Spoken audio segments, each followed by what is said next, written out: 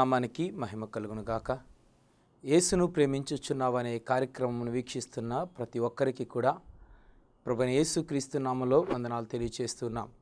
క్రీస్తునందు ప్రేమైనటువంటి దేవుని బిడ్డలారా ఈ సమయంలో ఒక చిన్న ప్రార్థన చేసుకుందాం. సర్వోన్నతుడా మహోన్నతుడా మహిమ కలిగిన దేవానికి స్తోత్రములు. మమ్మల్ని ప్రేమించి మాకిచ్చిన శ్రేష్టమైన ఈ సమయాన్ని బట్టి నీకు వందనాలు స్తోత్రాలు. ఈ సమయంలో కొన్ని విషయాలు మేము మాట్లాడుకోబోతుంటగా అవి మాకు దీవెనకరముగాను ఆశీర్వాదకరముగాను ఉండునట్లు సహాయం చేయండి. ప్రభా ఈ మాటలు వింటున్న ప్రతి బిడను వారి కుటుంబాన్ని దీవించండి. వారికున్న ప్రతి అవసరతను మీరు తీర్చండి. నీ మెండైన దీవెనలో ఆశీర్వాదాలు మా అందరి మీద కృమరించి మీరే ఘనత మహిమ ప్రభావాలు పొందమని యేసుక్రీస్తు నామములు అడిగి వేడుకొనుచున్నాము తండ్రి. ఆమెన్. క్రీస్తునందు ప్రియమైనటువంటి దేవుని బిడ్డలారా ఈరోజు ఈ ప్రత్యేకమైనటువంటి సమయంలో ఒక అద్భుతమైన సాక్ష్యాన్ని మీ ముందుకు తీసుకొని రావాలని ఆశపడుతున్నాను. మీకందరికీ నేను గత వారం తెలియచేసిన రీతిగా మరి గత వారంలో హిమాలయ పర్వతాల దగ్గర మిషనరీ పరిచయ నిమిత్తము వారం రోజులు వెళ్ళి అక్కడ పరిచయను కొనసాగించి ఆ తర్వాత మరలా మీ మధ్యలోనికి క్షేమంగా తిరిగి రావడానికి ప్రభు నాకు సహాయం చేశాడు. అక్కడ నేను విన్నటువంటి ఒక సాక్ష్యము నన్ను నిజంగా ఎంతగానో కదిలించింది. అంత మాత్రమే కాదు అది నన్ను ఎంతగానో బలపరిచింది. నా ముందు ఒక సవాలుకరంగా ఆ సాక్ష్యం నిలబడింది. ఆ సాక్ష్యం ద్వారా నిజంగా నేను ఎంతగానో ప్రోత్సహించబడ్డాను హెచ్చరించబడ్డాను. అందుకోసమే ఈ ప్రత్యేకమైనటువంటి సమయంలో ఆ సాక్ష్యాన్ని మీ ముందుకు కూడా తీసుకొని రావాలని నేను ఆశపడుతున్నాను. క్రీస్తునందు ప్రేమైనటువంటి దేవుని బిడ్డారా మేము దాదాపు హిమాలయ పర్వతాల దగ్గర ఒక ఆరు వేల అడుగుల ఎత్తులోనికి మేము వెళ్ళి పరిచయం చేస్తున్నాం ఆ ప్రాంతంలో మిషన్ హిమాలయాస్ అనేటువంటి ఒక సంస్థ ద్వారా మేము పరిచయం కొనసాగిస్తున్నాం. ఆ ప్రాంతంలో వాళ్ళకి దాదాపు డెబ్బై మిషన్ ఫీల్డ్స్ ఉన్నాయి. వాటిలో కొన్ని మిషన్ ఫీల్డ్స్ని నేను దర్శించడానికి అక్కడున్నటువంటి మిషనరీస్తో మాట్లాడటానికి వాళ్ళను బలపరచడానికి వాళ్ళ దగ్గర కొన్ని విషయాలను నేర్చుకోవడానికి అక్కడికి వెళ్ళడం జరిగింది. ఆ సమయంలో మరి నేను నాతో పాటు మరొక మిషనరీ బ్రదర్ లాయిడిక్ మేమిరువురం కూడా కలిసి మరొక పర్వతం మీద ఉన్నటువంటి ఒక మిషనరీని కలుద్దామని మేమిద్దరం కూడా వెళ్ళడం జరిగింది. ఆ ప్రాంతానికి మేము వెళ్ళినప్పుడు నాతో పాటు మిషనరీ నాతో చెప్తున్నాడు ఇదిగో ఇప్పుడు మనం వచ్చినటువంటి ప్రదేశంలో దాదాపు పదిహేను కుటుంబాలు వారు నివసిస్తున్నారు. ఈ పదిహేను కుటుంబాల వారి కొరకు ఒక మిషనరీ ఇక్కడ ఉండి పరిచయం చేస్తున్నారు. ఆ మిషనరీ నీకు పరిచయం చేయాలని నేను ఆశతో ఇక్కడ తీసుకొని వచ్చాను అని అన్నాడు. నేను కూడా మిషనరీని కలవటానికి వాళ్ళ అవసరతలు తెలుసుకోవడానికి వాళ్ళ పరిచర్య వారి అనుభవాల్ని తెలుసుకోవడానికి ఎంతో ఆసక్తితో ఎదురు చూస్తున్నాను ఆ సమయంలో ఒక ఇరవై మూడు నుంచి ఇరవై సంవత్సరాల వయసులో ఉన్నటువంటి ఒక యవ్వన సహోదరి మా మధ్యకు వస్తున్నప్పుడు నేను చూసి ఇలా అనుకున్నాను బహుశా మిషనరీ గారి యొక్క కుమార్తె ఉండొచ్చేమో అని అనుకున్నాను. కానీ నా పక్కనటువంటి బ్రదర్ లాయిడిక్ నాకు ఏమని పరిచయం చేశాడంటే ఇదిగో ఈ ప్రాంతంలో పరిచయం చేస్తున్న మిషనరీ ఈ సహోదరి అన్నాడు. నిజంగా అతను చెప్పినప్పుడు నేను చాలా ఆశ్చర్యపోయాను. బహుశా ఇరవై మూడు నుంచి ఇరవై సంవత్సరాల మధ్యలో ఉంటాయి. ఇంత చిన్న అమ్మాయి ఇంత దూరమైన ప్రాంతానికి వచ్చి ఇక్కడ మిషనరీగా పరిచయం చేస్తుంది. నేను అడిగాను ఇక్కడ మీరు ఎంతమంది ఉంటారు? అన్నప్పుడు తను చెప్పిన మాట నేను ఒక్కదాన్నే ఉంటాను. మరి మీ తల్లిదండ్రులు లేరా? మా తల్లిదండ్రులు ఉన్నారు. అయితే ఇక్కడి నుంచి ఒక ఐదు పర్వతాలు దాటి ప్రయాణం చేసుకుంటూ వెళ్తే నా తల్లిదండ్రులు అక్కడ నివసిస్తున్నారు. ఆ పాప చెప్పినప్పుడు నేను చాలా ఆశ్చర్యపోయాను. ఒకవేళ ఇదే మా ప్రదేశంలో మా ప్రాంతంలో అయితే అబ్బాయిల్ని సేవకు పంపించడమే చాలా కష్టం. మేము ఇది చాలా ఆశలు పెట్టుకున్నాం రా నువ్వు నువ్వు బాగా చదువుకొని మమ్మల్ని ఉద్ధరించాలి నువ్వు బాగా సంపాదించాలి అని కోరుకునేటువంటి తల్లిదండ్రులు చాలామంది ఎక్కువ. అందులోనూ ఒక ఆడపిల్ల పరిచయకి వెళ్తానంటే నీకెందుకు నోరు మూసుకో చేసేవాళ్ళు చాలామంది ఉన్నారు అనేటువంటి వాళ్ళే కానీ ఆడపిల్లల్ని దేవుని పరిచయ కోసం ప్రోత్సహించి పంపించేటువంటి వాళ్ళు చాలా తక్కువగా ఉంటారు. అంత మాత్రమే కాదు మిషనరీ పరిచయం అన్న విషయాన్ని పక్కన పెడితే కనీసం సంఘంలో జరిగేటువంటి కార్యక్రమాలకి యవనస్తులకు కూడా మన యవన బిడ్డల్ని మనం చాలాసార్లు పంపించాం పంపించాం. నేను ఇదే విషయాన్ని ఆ సహోదరితో కూడా చెప్పాను. అమ్మ మా ప్రదేశంలో పరిస్థితులు ఇలా ఉన్నాయి. బట్ నిజంగా మీ తల్లిదండ్రులు నేను అప్రిషియేట్ చేయాలనుకుంటున్నాను. యవన బిడ్డమైనటువంటి నిన్ను ఇంత దూరం మిషనరీగా పంపించడానికి వాళ్ళు ఇష్టపడ్డారు. నిజంగా అది చాలా అద్భుతంగా ఉంది నాకు చాలా సంతోషంగా ఉంది అని చెప్పి అన్నాను. ఈ విధంగా మేము మాట్లాడుకుంటున్నాము. మాటల మధ్యలో నేను అడిగాను. ఇంత చిన్న వయసులో ఎందుకు నువ్వు మిషనరీగా ఉండాలని మిషనరీ పరిచయం చేయాలని తీర్మానం చేసుకున్నావు అని నేను అడిగినప్పుడు ఆ సహోదరి తన జీవితంలో జరిగినటువంటి గొప్ప సాక్ష్యాన్ని నాతో పంచుకోవడం ప్రారంభించింది. ఆ సాక్ష్యం వింటున్నప్పుడు చాలా సందర్భాల్లో నా కళ్ళు చెమ్మగిల్చాయి అంత మాత్రమే కాదు నా హృదయం బద్దలైపోయింది. అంత చిన్న వయసులో అంత అద్భుతమైన సాక్ష్యాన్ని ఆ సహోదరి నాతో పంచుకుంది. ఆమె పేరు ఎలీనా శర్మ. వాస్తవానికి ఈ సహోదరి ఒక బ్రాహ్మణు కుటుంబంలో జన్మించింది. తన తల్లిదండ్రులు ఇరువురు కూడా బ్రాహ్మణులు. క్రీస్తునందు ప్రేమైనటువంటి దేవుని బిడ్డారా మరి వాళ్ళ ఇరువురు కూడా డార్జిలింగ్ అనేటువంటి ప్రాంతంలో వాళ్ళు నివసిస్తూ ఉంటారు. అయితే ఆ పాపకి ఆరు సంవత్సరాల వయసు ఉన్నప్పుడు సహోదరి యొక్క తల్లి ఆ బిడ్డను విడిచిపెట్టి ఆమె వేరొక వ్యక్తితో వెళ్ళిపోయింది. ఈ సందర్భంలో ఆ తండ్రి మరొక స్త్రీని వివాహం చేసుకొని మరొక స్త్రీని తనకు ఇంటికి తీసుకొని వచ్చాడు తల్లిగా. బహుశా మనం సవత తల్లి అని అంటూ ఉంటాం ఇదే పదాన్ని.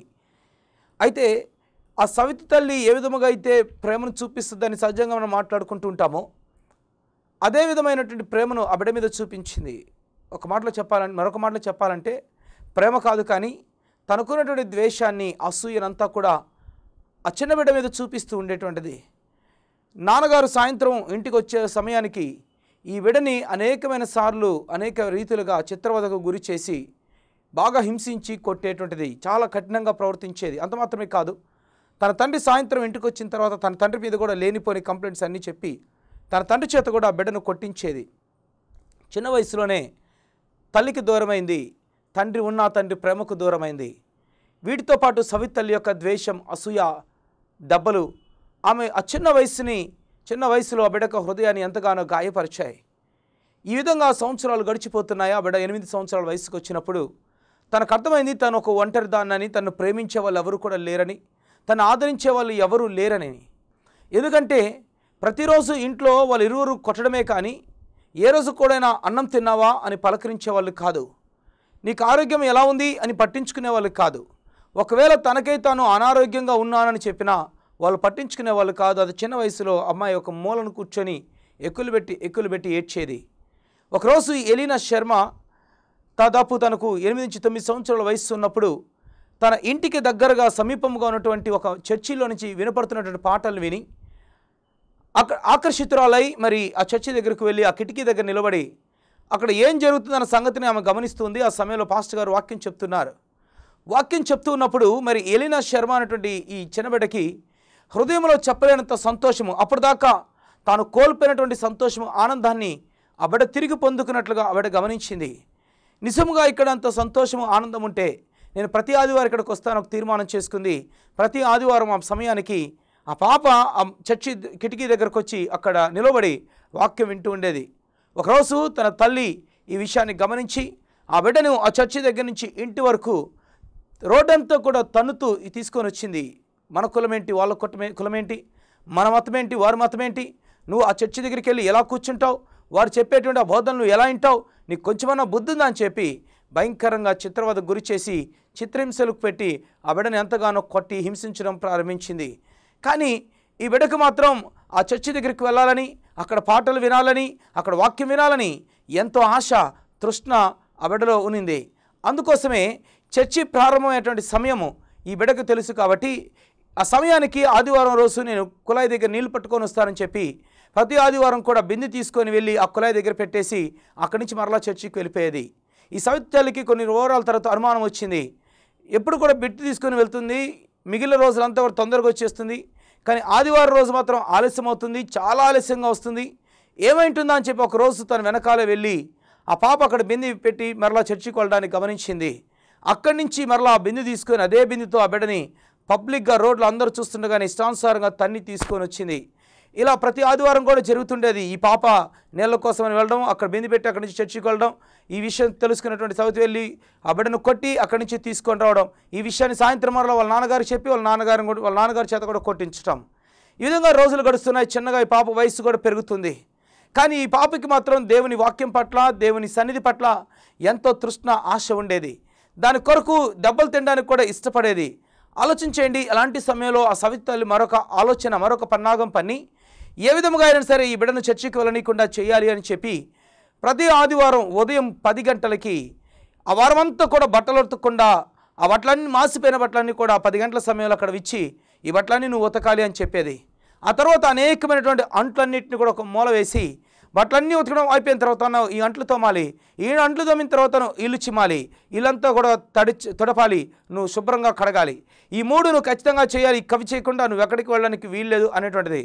అయితే ఆరాధన పది గంటలకి అని ఈ సవితికి తెలుసు కానీ పదకొండున్నరకి వాక్యం అన్న సంగతి ఆ పాపకు తెలుసు. అందుకోసమే పది నుంచి పదకొండున్నర గంట సమయం లోపల తనకివ్వబడిన పనంతటిని కూడా చకచక ముగించేసి అంట్లన్నీ తోమి బట్టలన్నీ ఉతికేసి తర్వాత వెంట వెంటనే ఇల్లంతా శుభ్రం చేసేసి పదకొండున్నర కల్లా పరుగు పరుగున దేవుని మందిరానికి వెళ్ళేది. నిజంగా పాప చెప్తున్నప్పుడు నేను చాలా ఆశ్చర్యానికి గురయ్యాను.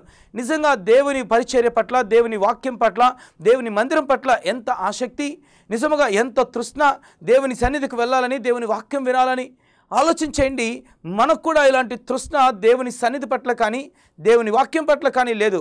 ఒకవేళ ఆదివారం మనం చర్చికి వెళ్ళినా కానీ ఏదో ఫార్మాలిటీగా వెళ్ళాలి కాబట్టి వెళ్తున్నాం. లేకపోతే ఆదివారం వెళ్ళడం మనకు అలవాటు అయిపోయింది కాబట్టి వెళ్తున్నాం. అమ్మా నాన్న అడుగుతారని వెళ్తున్నాం. లేకపోతే పాస్టర్ గారు అడుగుతారని అడుగుతా వెళ్తున్నాం. ఎవరో ఏదన్నా అంటారని చెప్పి వెళ్తున్నాం. లేకపోతే స్నేహితుల కోసం వెళ్తున్నాం. ఇలా రకరకాలైనటువంటి ఉద్దేశాలతో ఆదివారం రోజు మనం దేవుని సన్నిధికి వెళ్తున్నాం. అది కూడా చాలా సందర్భాల్లో కష్టంగా వెళ్తున్నాం. భారంగా వెళ్తున్నాం. ఇబ్బందిగా వెళ్తున్నాం. మరి ఆలోచించేయండి. పన్నెండు సంవత్సరాల ఈ అమ్మాయి దేవుని వాక్యం పట్ల తృష్ణ కలిగి దేవుని సన్నిధి పట్ల ఆసక్తి కలిగి మరి ఇవ్వబడిన పనులన్నింటినీ కూడా చకచక ముగించేసి పరుగు పరుగున వెళ్ళి ఆ వాక్యాన్ని విని వచ్చేటువంటిది. తల్లిదండ్రులకి ఇంకా కోపం ఆవేశం పెరిగిపోయింది. అంత మాత్రమే కాదు మరి వీళ్ళిరువురు కూడా అర్థమైంది మేము మా పాపని కౌన్సిలింగ్ చేయలేకపోతున్నామని. వీళ్ళిరువురు కూడా బయటకు వెళ్ళి తమ సమాజంలో ఉన్నటువంటి మరి ఆ కుల పెద్దలను అందరినీ కూడా తీసుకొని వచ్చి వాళ్ళందరి ద్వారా కూడా పాప కౌన్సిలింగ్ చేయడానికి ప్రయత్నం చేశారు. కానీ పాప ఎవరు చెప్పిన మాట కూడా వినలేదు. నా ఇంటిలో లేని సంతోషము నా ఇంటిలో లేని నెమ్మది నా ఇంటిలో లేని ఆనందము నాకు ఆ మందిరంలో దొరుకుతుంది. అందుకోసం నేను వెళ్తున్నాను అని చెప్పడం జరిగింది. ఆ సమయంలో కుటుంబంలో ఆ పాపను వెలివేశారు. సమాజంలో తమ కులపు వాళ్ళు కూడా ఆ పాపని వెలివేశారు. అందరూ మాట్లాడడం మానేశారు. ఇంట్లో కూడా బహుభయంకరంగా చిత్రవద గురి చేయడం ప్రారంభించారు. రోజు రోజుకి ఈ పాపకి టార్చర్ మరీ ఎక్కువ అయిపోతూ ఉండేది. క్రీస్తునందు ప్రేమైన దేవుని బిడ్డలారా మరి ఈ విధముగా ఆ పాప దేవుని వాక్యం కొరకు తృష్ణ కలిగి చక్కగా ఎదుగుతూ ఉన్నట్లుగా ఆ సహోదరి నాతో చెప్పింది. అయితే ఒకానొక సందర్భంలో ఆ తల్లిదండ్రులకి మరి ఆవేశం ఎక్కువ అయిపోయింది సో ఆ పాపని తల మొదలుకొని అరికాలు వరకు మరి బెత్తాలతో ఇష్టానుసారంగా కొట్టి వాతలు పెట్టి చర్చికి వెళ్ళొద్దని చెప్పి మరీ ఎక్కువగా చిత్రవధి గురి చేయడానికి ప్రారంభించారు. సో ఆ సమయంలో దాదాపు పన్నెండు సంవత్సరాల వయసులో ఆ పాప తన ఇంటిని విడిచిపెట్టేసి ఇంట్లో నుంచి పారిపోయి తమ బంధువుల ఇంటికి వెళ్ళిపోయింది. ఆ తల్లిదండ్రులు ఎంత కఠినంగా తయారయ్యారనంటే కనీసం మూడు నెలల వరకు ఆ పాప ఎక్కడికి వెళ్ళింది? ఏమైపోయింది? ఏం చేస్తుంది? ఎవరి దగ్గర ఉందన్న విషయాలు కూడా వాళ్ళు పట్టించుకోవడం మానేశారు. పాప కోసం వెతుకులాడడం మానేశారు. పాపని మర్చిపోవాలని చెప్పి వాళ్ళందరూ కూడా తీర్మానం చేసుకున్నారు. అయితే ఈ సహోదరి ఈ యవన బిడ్డ మరి తన బంధువుల దగ్గరకు వెళ్ళి అక్కడ ఉంటూ వారి పక్కనటువంటి చర్చికి వెళ్తూ చిన్నగా అక్కడ వాక్యంలో బలపడుతూ వచ్చింది.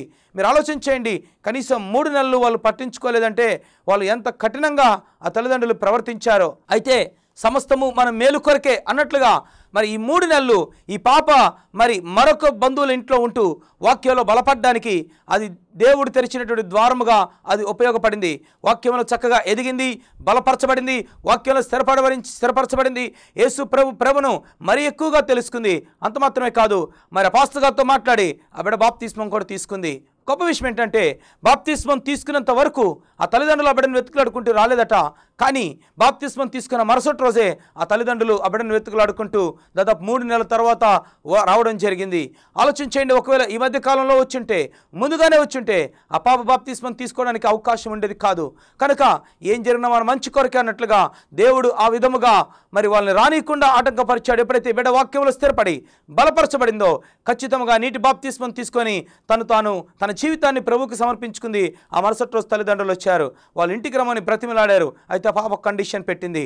సోమవారం నుంచి ఆదివారం ఉదయం వరకు నేను మీ ఇంట్లో కుక్కలాగా పడుంటాను. బానిస బ్రతుకు బతుకుతాను. మీరు ఏం చెప్పినా చేస్తాను. మీరు ఎంత చాకరీ చేపించుకున్నా ఓపికగా చేస్తాను. అయితే ఆదివారం రెండు గంటల సమయము మీరు నాకు ఇవ్వండి చాలు. ఈ రెండు గంటల సమయం నాకు ఇస్తే మీతో పాటు నేను రావడానికి ఇష్టమే. మీ ఇంట్లో బానిసగా ఉండడం కూడా నాకు ఇష్టమే అని చెప్పి ఆ పాప చెప్పినట్లుగా ఆమె మాకు తెలియచేసింది. నిజంగా నాకు ఎంత ఆశ్చర్యాన్ని కలిగించింది. వారమంతా కూడా ఒక బానిసలాగా ఉండడానికి ఇష్టపడింది. ఎందుకంటే రెండు గంటలు వాక్యం వినడానికి వాళ్ళు సమయాన్ని కల్పిస్తున్నారు కాబట్టి క్రీస్తునందు ప్రేమ దేవుని ఆలోచన ఆలోచించేయండి. అంత చిన్న బిడ్డకి దేవుని వాక్యం పట్ల ఎంత తృష్ణో కదా దేవుని సన్నిధి పట్ల ఎంత ఆరాటమో కదా క్రీస్తునందు పరమైనటువంటి దేవుని బిడ్డలారా ఆలోచించేయండి.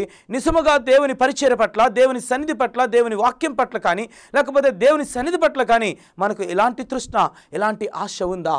ఇలాంటి ఆశ ఉందా? క్రీస్తునందుపురమైన దేవుని బిడ్డలారా ఆలోచించేయండి. ఆ పాప నాతో చెప్పిన మాట దాదాపు వారమంతా కూడా ఆ పాపను తమ ఇంటిలో ఒక కుక్క కంటే హీనంగా చూసేటువంటి వాళ్ళు కుక్క కంటే అత్యంత దారుణంగా వాళ్ళు ట్రీట్ చేసేటువంటి వాళ్ళు. కుక్క కన్నా ముందు అన్నం పెట్టేవాళ్ళు కానీ ఈ పాపకి ఎప్పుడో అన్నం పెట్టేటువంటి వాళ్ళంట. అయితే పాప చెప్పిన మాట అంటే ఏంటంటే ఆ వారమంతా కూడా చెప్పలేనంత సంతోషంతో ఉండేది.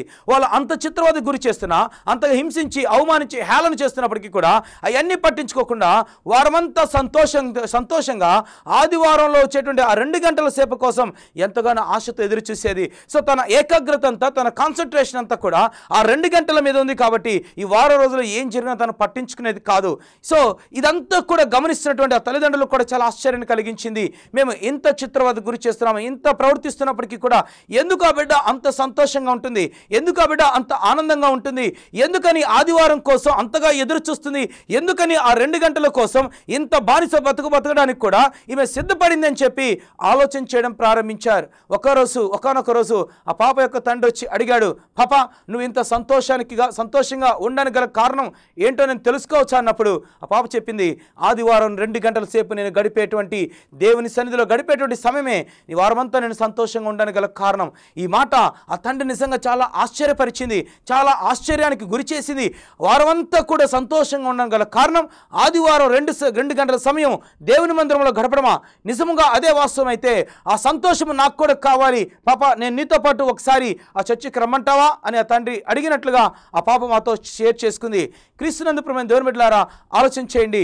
మరి ఆదివారం వింటున్నటువంటి వాక్యము ఆ వారమంతా మనకు కావలసినటువంటి శక్తిని స్ట్రెంత్ని ఆత్మీయ ఎదుగుదలను ఆత్మీయ ఆహారాన్ని అది సమృద్ధిగా మనకు అందించగలుగుతుందా? ఆదివారం గుడికి వెళ్తున్నాం వెళ్తున్నాం కాబట్టి వెళ్తున్నాం అలా కూర్చుంటున్నాం వాక్యం వింటున్నాం వచ్చేస్తున్నాం కానుకలు ఇస్తున్నాం వచ్చేస్తున్నాం. కానీ ఆ రోజు వాక్యంతో మనం నింపబడుతున్నామా? ఆ రోజు వాక్యం ద్వారా మనం బలపరచబడుతున్నామా? దేవుని మాటలు ఒక మాట సెలవిస్తుంది. ఆశ కలిగిన ప్రాణమును ఆయన తృప్తిపరిచేటువంటి దేవుడు. నీవు దేవుని మందిరానికి వెళ్ళేటప్పుడు నువ్వు దేవుని సన్నిధికి వెళ్ళేటప్పుడు ప్రభా నీ మాటలు నేను వినాలి నీ మాటల కొరకు నేను తృష్ణకొని ఉన్నానని చెప్పి నువ్వు ఆశతో వెళితే ఖచ్చితంగా నీ ప్రాణమును ఆయన తృప్తిపరిచేటువంటి దేవుడై ఉన్నాడు. క్రీస్తునందుప్రమైన దేవుని పెట్టారా మరి ఆ పాప రెండు గంటల సేపు విన్న వాక్యాన్ని ఎంతో సంతోషముతో వారమంతటికీ కూడా దాన్ని సమృద్ధిగా ఉపయోగించుకోగలుగుతుంది. మరి నీ సంగతి నా సంగతి ఏంటి? దేవుని వాక్యాన్ని అంత ఆసక్తి కలిగి మనం వినగలుగుతున్నామా? ఆ వాక్యాన్ని అంతటికి కూడా మనం ఉపయోగించుకోగలుగుతున్నాం. అంత మాత్రమే కాదు ఇక్కడ మరొక గొప్ప విషయం ఏంటంటే ఈ పాప యొక్క ప్రవర్తన ఈ పాప యొక్క నడవడిక తన తండ్రి జీవితాన్ని కూడా ఆలోచింపచేసింది. ఒకరోజు ఆయన కూడా ఈ అమ్మాయితో పాటు ఆ చర్చికి వెళ్ళడం జరిగింది. బహుశా ఈయన వెళ్ళేటప్పుడు ఇలా అనుకున్నాడు. వీళ్ళు క్రైస్తవులు కాబట్టి ఈ క్రైస్తవ మతమే గొప్పదని వీళ్ళ వీళ్ళ దేవుడు గొప్పవాడని మిగిలిన వాళ్ళందరూ తక్కువ అని మిగిలిన వాళ్ళందరూ కూడా చెడ్డవాళ్ళని చెప్పి వీళ్ళు ఇక్కడ బోధిస్తారేమో అన్న ఉద్దేశంతో ఇతడు ఆ మందిరానికి వెళ్ళి అక్కడ కూర్చున్నాడు. ఏం బోధిస్తారో విందామని ఆ సమయంలో పాస్టర్ గారు బోధిస్తున్నారు. మిమ్మల్ని ప్రేమించేవారిని మీరు ప్రేమిస్తే మీ గొప్పతనం ఏముంది? మిమ్మల్ని మీ శత్రువుల్ని కూడా మిమ్మల్ని ప్రేమించండి. మిమ్మల్ని హింసించే వారిని ప్రేమించండి. మీకు ఇబ్బంది కలిగించే వారి కొరకు ప్రార్థన చేయండి అని చెప్పి పాస్టర్ గారు చెప్తున్నప్పుడు మరి పెద్ద ఆయనకి ఆశ్చర్యాన్ని కలిగించింది. ఇదేంటిది? మన మందిరంలో వీళ్ళు ఏదో బోధ చేస్తారనుకుంటే వీళ్ళు మరొక బోధ చేస్తున్నారు. ఇలాంటి బోధలు ఎప్పుడు కూడా మనం మన సమాజం మన సమా మన మన ప్రదేశాల్లో మన దేవాలయాల్లో మనం ఎప్పుడు వినలేదే. మనం ఎప్పుడు కూడా చిన్నప్పటి నుంచి ఇలాంటి బోధలు మనం వినలేదే. మనకు తెలిసింది మనల్ని ప్రేమించే వాళ్ళని ప్రేమించాలి. మనల్ని పొగిడేటువంటి వాళ్ళని ప్రేమించాలి. మనకి మేలు చేసే వాళ్ళని ప్రేమించాలి. మనకి కీడు చేసేవాళ్ళు కీడును మనం కోరుకోవాలి. కానీ ఇక్కడ అలా బోధించట్లేదు.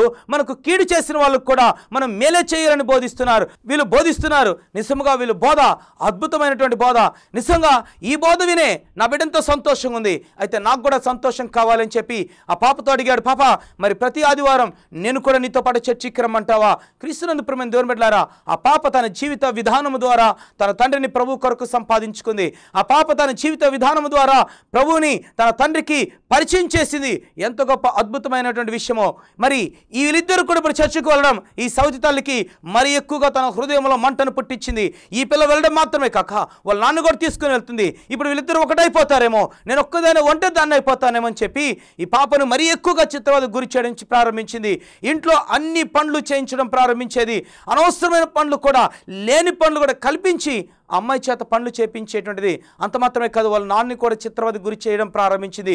ఈమె ఒక రాక్షసిలాగా తయారైపోయింది. ఒక కఠినాత్మరాలాగా క్రూరాలాగా మారిపోయి ఆమె వాళ్ళ ఇరువురిని కూడా చిత్రవద గురి చేయడం ప్రారంభించింది. క్రీస్తునందు ప్రేమటువంటి దేవుని బిడ్డారా ఒకరోజు ఆ తండ్రి వచ్చి అడిగాడు మరి నీ తల్లి నేను అంత ద్వేషిస్తుంది కదా మరి నీ ప్రతిస్పందన ఏంటి? అన్నప్పుడు ఆ పాప చెప్పిన మాట నేను నా తల్లిని ప్రేమిస్తున్నాను. ఆమె నన్ను ఎంత ద్వేషించినా నేను మాత్రం ఆమెను ప్రేమిస్తున్నాను. ఎందుకంటే నా ప్రభు చెప్పాడు శత్రువుని ప్రేమించమని నా ఆమె శత్రువు కాదు బహుశా ఆమెకి నేను శత్రువు అయి ఉండొచ్చేమో. మరి అయినప్పటికీ నేను అమ్మని ప్రేమిస్తున్నానని చెప్పిన మాట నిజంగా ఆ తండ్రిని ఎంతగానో ఆలోచింపచేసింది. క్రీస్తునందు ప్రేమ దేవుని బిడ్డలారా ఈ విధంగా సంవత్సరాలు రోజులు గడుస్తున్నటువంటి సమయంలో ఒకానొక సందర్భంలో మరి వాళ్ళ సౌతి తల్లికి తల మొదలుకొని అరికాలు వరకు మొత్తం కూడా తెల్లని కురుపులు వచ్చేసాయి. చాలా హాస్పిటల్స్ తిరిగారు. ఎక్కడ కూడా ప్రయోజనం లేదు. ఎక్కడ కూడా మా వల్ల కాదు మా వల్ల కాదని చెప్పారు. ఆమె ఇంట్లో కూర్చొని ఒకరోజు దిగులు పడుతుంది ఏడుస్తుంది. ఆ సమయంలో ఈ శర్మ తన తల దగ్గరికి వెళ్ళి ఒక మాట చెప్పింది అమ్మా బహుశా నువ్వు నన్ను ద్వేషిస్తున్నావేమో కానీ నేను మాత్రం నిన్ను ప్రేమిస్తున్నాను. తల్లి హృదయంలో బద్దలైపోయింది కళ్ళల్లో నుంచి నీళ్ళు కారిపోతూ ఉన్నాయి. కళ్ళ నుంచి నీళ్ళు కారిపోతున్నాయి. ఎందుకంటే పాప చెప్పిన మాట బహుశా నువ్వు నన్ను ద్వేషిస్తున్నావేమో బహుశా నన్ను అసహించుకుంటున్నావేమో కానీ నేను మాత్రం నిన్ను ప్రేమిస్తూ ఉన్నాను. క్రీస్తునందు ప్రేమ దేవుని బిడ్డలారా ఆలోచన చేయండి. ఈ మాటలు విన్నటువంటి మనము ఒకసారి మనం మనం పరిశీలన చేసుకుందాం. మనం ఎప్పుడైనా సరే ఇలా చెప్పగలమా? మనల్ని ద్వేషిస్తున్న వారితో మనల్ని అసహించుకున్నటువంటి వారితో మనల్ని చిన్న చూపు చూస్తున్నటువంటి వారితో మనల్ని తక్కువ చేసేటువంటి వారితో మనం ఏ రోజైనా సరే మీరు నన్ను ద్వేషించొచ్చేమో నేను మాత్రం మిమ్మల్ని ప్రేమిస్తున్నాను. మీరు నన్ను అసహించుకుంటున్నారేమో కానీ నేను మాత్రం మిమ్మల్ని క్షమిస్తున్నానని మనం చెప్పగలుగుతున్నామా? ఇది వాస్తవానికి క్రైస్తవ జీవితము. ఒక ప్రాక్టికల్ క్రిస్టియన్ ఎలా జీవిస్తాడంటే ఇలాంటి ఒక మాదిరికరమైన జీవితాన్ని జీవిస్తాడు. ఎందుకంటే యేసు ప్రభు దగ్గర నుంచి కూడా మనం ఇలాంటి బోధనే ఇలాంటి జీవితాన్ని ఇలాంటి మాదిరినే మనం చూడగలము. తను ఎవరైతే అవమానించారో హేళన చేశారో ఎవరైతే తన ముఖం మీద కేకరించి ఉమ్మ ఉమ్ము వేశారో ఎవరైతే తన వస్త్రములను తీసివేసి అతను వ్యవస్థగా చేశారో. ఎవరైతే తన ముఖం మీద పిడుగుదలతో గుద్దారో వాళ్ళందరినీ కూడా ఆయన క్షమించాడు. తండ్రి వీరేమి చేయించున్నారు? వీరెరుగను గనుక వీరిని క్షమించమని వారి కొరకు ప్రార్థన చేశాడు. అంత మాత్రమే కాదు వారిని ప్రేమించాడు. వారందరూ కూడా రక్షించబడి వారందరూ కూడా రేపు తనతో ఉండాలని ఆయన ఆశపడ్డాడు. క్రీస్తునందు ప్రమేణ దేవుని ఇది క్రైస్తవని జీవితం. ఇది ఒక మాదిరికరమైనటువంటి జీవితం. మరి ఎప్పుడైతే ఈ ఎలిన శర్మ తన తల దగ్గరికి వెళ్ళి ఈ విషయాన్ని చెప్పిందో నిజంగా ఆమె ఎంతగానో ఆశ్చర్యపోయింది. బిడ్డను తన దగ్గరకు తీసుకొని నిజంగా నువ్వు నన్ను ప్రేమిస్తున్నావా? అంటే ఎస్ నేను నిజంగా ప్రేమిస్తున్నాను. నువ్వు నాకు ఒక అవకాశం ఇస్తే మా పాస్టర్ గారిని మా చర్చిలో ఉండే వాళ్ళని తీసుకొని వస్తాను. వాళ్ళు నీ కొరకు ప్రార్థన చేస్తారు. నీకు బాగవుతుంది అని చెప్పినప్పుడు ఈ- ఈ సహ ఈ సవితల్లి ఏమి చేయనటువంటి పరిస్థితిలో నిస్సహాయితలో. ఎందుకంటే అప్పటికే ఆమె చాలా అవమాన పాలైంది బయటికి వెళ్ళలేకపోతుంది. అందరితో కలలేకపోతుంది అనేకమైన హాస్పిటల్స్ వైద్యం తిరిగింది. ఎక్కడ కూడా ఆమెకి స్వస్థత కలగలేదు. సో వేరే ఆప్షన్ లేక సరే ఒకసారి పిలిపించు అని చెప్పింది. ఆ పాస్టర్ గారు సంఘం అంతా కూడా వచ్చారు. ప్రార్థన చేశారు. ధైర్యం చెప్పారు. వెళ్ళారు. రెండో ఆదివారం వచ్చారు. ప్రార్థన చేశారు. ధైర్యం చెప్పారు. బలపరిచారు. వెళ్ళారు. మూడో ఆదివారం వచ్చారు. వాక్యం చెప్పారు. ప్రార్థన చేశారు. బలపరిచి వెళ్ళారు. అలా ఐదు వారాలు వాళ్ళు ప్రార్థన చేశారు. చేస్తూనే ఉన్నారు. దేవుడు అద్భుత రీతిగా ఆ తల్లికి తల మొదలుకొని అరికాలు వరకు ఆ తలను మచ్చల రోగాలన్నీ కూడా మట్టుమాయమైపోయి ఆమెకు పరిపూర్ణమైన స్వస్థతను వచ్చింది. పరిపూర్ణమైన స్వస్థత వచ్చినప్పుడు నిజంగా తల్లి ఆశ్చర్యపోయింది. నిజముగా ఈ పాప సేవిస్తున్న దేవుడు ఎంత గొప్పవాడా? నా భర్త వెళ్తున్నటువంటి ఈ మందిరంలో ఉన్నటువంటి దేవుడు ఎంత గొప్పవాడా? అయితే ఆ దేవుడు నాకు కూడా కావాలని చెప్పి ఆమెకే ఆమె ఇప్పుడు వచ్చే పాపను అడిగిందంట. ఆ సహోదరుని అడుగుతుంది అమ్మా నేను కూడా నీతో పాటు నాన్నతో పాటు ఆ చర్చికి రావాలనుకుంటున్నాను. మరి నేను రమ్మంటారా? నేను రావచ్చా? నేను పాపాత్మురాల్ని కదా? నేను ఇంతగా హింసించాను కదా? నేను ఇంతగా వేధించాను కదా. మరి యేసు ప్రభు నన్ను కూడా క్షమిస్తాడన్నప్పుడు ఆ పాప ఆ తల్లికి కూర్చోపెట్టి యేసు ప్రభు యొక్క క్షమాపణ యొక్క గొప్పతనం గురించి యేసు ప్రభు యొక్క ప్రేమను గురించి వివరించినప్పుడు ఆమె కళ్ళల్లో నీళ్ళు పెట్టుకొని ఆమె దుఃఖముతో ఏడ్చి ఆ మరుసటి ఆదివారం నుంచి ఆమె కూడా క్రమంగా చర్చికి వెళ్ళడం ప్రారంభించింది.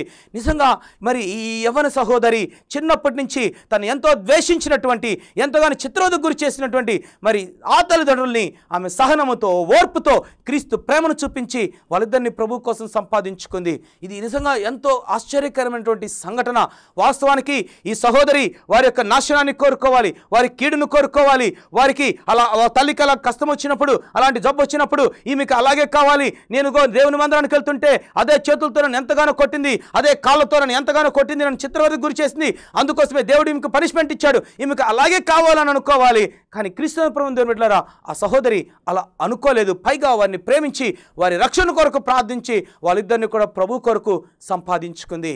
దాదాపు అమ్మాయినతో చెప్పిన మాట దాదాపు పద్దెనిమిది సంవత్సరాల తర్వాత పద్దెనిమిది సంవత్సరాల తర్వాత వాళ్ళిద్దరిని ఎప్పుడైతే ప్రభు కోసం సంపాదించుకుందో ఈ పద్దెనిమిది సంవత్సరాల తర్వాత తల్లి తండ్రి ఇద్దరు కూర్చోబెట్టుకొని అన్నంలో మరి అన్నాన్ని ప్లేట్లో కలిపి ఆ పాపకి నోటి ముద్దలు తినిపించారంట. పద్దెనిమిది సంవత్సరాల తర్వాత తండ్రి ప్రేమను తల్లి ప్రేమను తన జీవితంలో తను అనుభవించగలిగింది. ఎంతో పద్దెనిమిది సంవత్సరాలు ఎంతో ఓపికతో ఎదురు చూసింది. అప్పుడు దాకా తల్లి ప్రేమ తండ్రి ప్రేమ అనే పదాలు తన డిక్షనరీలో లేనవు తనకు తెలీదు. కేవలం దేశం అంటే ఏంటో మాత్రమే చూసింది అసహ్యం అంటే ఏంటో మాత్రమే చూసింది. కానీ ఆ ప్రేమను తల్లిదండ్రుల దగ్గర ఆ తర్వాత ఆమె రుచి చూడడం ప్రారంభించింది మోకరించింది. ఏసయ్యా నేను సహించాను నేను ఓర్చుకున్నాను అయితే నా నిరీక్షణ వ్యర్థం కాలేదు. ఈరోజు వాళ్ళిద్దరిని కూడా నేను నీకోసం సంపాదించుకున్నానని చెప్పి పాప ఎంతగానో సంతోషించింది. సో మరుసరాది వారి నుంచి వారు కుటుంబంగా దేవుని మందిరానికి వెళ్ళడం ప్రారంభించారు. ఆ తల్లి కూడా ఎంతగానో ఏడ్చింది.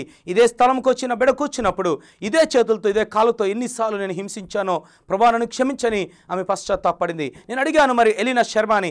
ఎలినా శర్మ మరి ఈరోజు మరి నీ తల్లిదండ్రులు అక్కడ ఉన్నారు కదా ఏంటి వారి యొక్క ఆత్మీయ ఎదుగుదల ఆత్మీయ స్థితి ఏంటి? మరి ఈరోజు వాళ్ళు చర్చికి వెళ్తున్నారా? లేకపోతే నిన్ను మాత్రం పంపిస్తున్నారా? అన్నప్పుడు ఆ ఎలినా శర్మ నాతో చెప్పిన మాట నాకు మరీ ఆశ్చర్యాన్ని కలిగించింది. అనయ్య ఒకవేళ నువ్వు నన్ను మా అమ్మని లేకపోతే మా నాన్ని మా ముగ్గురిని పక్క పక్కన పెట్టి మా ఆత్మీయ జీవితానికి ఒకవేళ నువ్వు మార్కులు వేయాలి అని అనుకుంటే మా నాన్నకి నువ్వు నలభై మార్కులు వేయొచ్చు నాకు అరవై మార్కులు వేయొచ్చు కానీ మా అమ్మకి నువ్వు తొంభై మార్కులు వేయొచ్చు అని అనింది.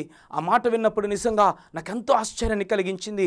అంత తక్కువ సమయంలో ఆత్మీయంగా అంత ఎదిగినటువంటి స్థితికి వెళ్ళిపోయింది. ఆ అమ్మాయి చెప్తుంది అనయ్య ఈరోజు అమ్మకి నిద్రలేస్తే వేరే పని లేదు. దేవుని వాక్యాన్ని చదవడం దేవుని వాక్యాన్ని ధ్యానం చేయడం ప్రార్థన చేయడం మోకరించడం ప్రార్థన చేయడం. ఈ రెండు పనులే ఈ రెండు తప్పకి వేరే ఏమీ చేయదు.